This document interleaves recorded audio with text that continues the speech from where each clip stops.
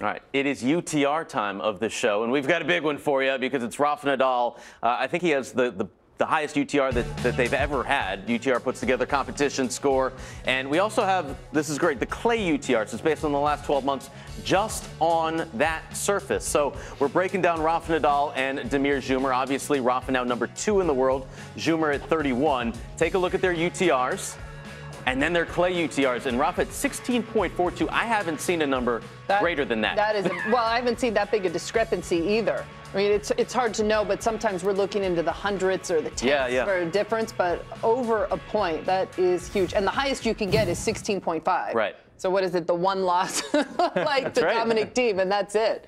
I mean, perfect almost. So uh, there's no chance for Dzumhur tomorrow, is there? It's going to be a very tough out. we don't want to give away the outcome, but yeah, he's going to exactly. have to play extremely well. Rafa's going to be ready to go. I mean, that UTR speaks for itself. 16.42. Really looking forward to that. And as we enter the social net, we focus on Rafa as well, because he's going to be the official starter for the 24 Hours of Le Mans. Uh, if you're not a, a, fan of the racing, this is always an interesting thing. Once a year, they go for a complete day. They actually change the drivers throughout uh, the day, each of these teams, and Rafa's going to be the official starter. That's pretty exciting. You know, Rafa does a good job of doing some things off the court that kind of takes his mind away from the game of tennis. Loves fast cars, also loves to fish a lot. Mm. So that should be exciting for Rafa.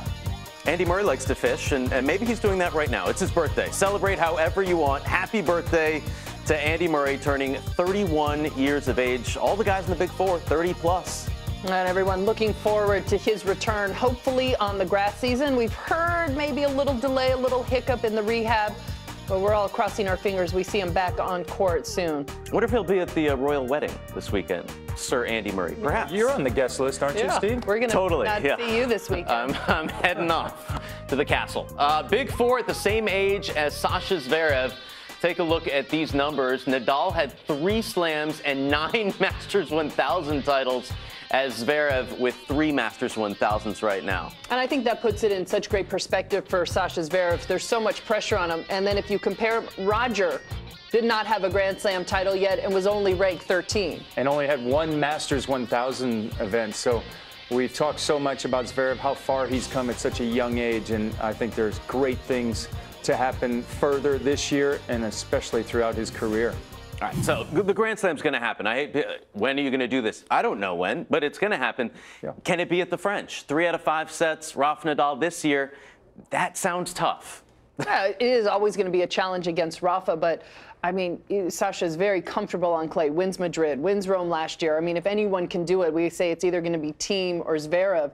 I mean, so much right now depends on Rafa. In his level, you have to assume he's going to be at 100% in the overwhelming favorite. But if there is a hiccup, look to Sasha Zverev to maybe pick up the slack there. Well, I think the thing that's important is he's getting not only older, but he's getting stronger. He talked how much he's worked on the physicality. The game is a very physical game. Last summer, when he played so well, winning Washington, Montreal, lost early, and since we thought that'd help him, but uh, eventually at the U.S. Open, he looked fatigued. So now I think he's built more. He won Munich, he won Madrid. Let's see how he does in Rome, but I think his body will be ready to go for two weeks in a slam. So that gives him a chance at the French and he's been serving so well. First player ever when he won that title in Madrid to win a title on clay without being broken the entire tournament since he like stats one point against Leonardo Mayer, just one. That's insane, and he has all the tools. It's gonna it's gonna happen for Sasha Zverev at the majors sometime soon. Uh, they have called play. It's all over for today right now between Cilic and Harrison. These are the highlights from earlier today. They will start third on tomorrow on Court Central. This was actually a very high quality match from both players. Cilic had some opportunities early.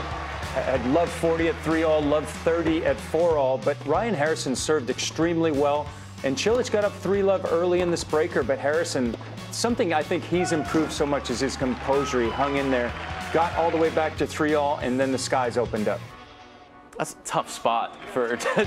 so when you come back tomorrow, I mean, what do you think at first point? You're in a tiebreak three all. You've got to try and get your feet going and that adrenaline going ASAP. There is no time to kind of find your way into the match. I mean, the forecast was bad all day. Mm. So at, at one one side, we're pretty lucky that it didn't rain until that time. Um, only match that didn't finish. More rain forecasted tomorrow. But the best thing to do when you have to finish a match, warm up a little bit closer to when you're going to take the court and just do everything you can to be ready to go at the very first point. Clutch stuff. We'll have it for you tomorrow right here on Tennis Channel. Here are the other matches that we have featured tomorrow. Dominic Thiem, Fabio Fognini, Rafa's in action. How about Novak Djokovic against Basilashvili? Joker's still trying to find his top form. And Juan Martín del Potro will take on the teenager Stefanos Tsitsipas. Meantime, on Tennis Channel Plus, get your TC Plus. Go to buytcplus.com. John Isner, Stevie Johnson, the two Americans in action. And then Grigor Dimitrov, Kei Nishikori. Who do you have in that one, Linz? Hmm. I don't know. Kei's been playing pretty well so this clay court season. I'll go with Nishikori. All right. You would Nolte? agree? I'm going with Nishikori. Okay, yes. Two for Kay. two for two for Nishikori. All right. For Nolsey, for Lindsay, I'm Steve. Thanks so much for staying with us today on this wet and wild edition of Tennis Channel Live. We will see you back here tomorrow morning, 6 o'clock Eastern. Much more from Rome.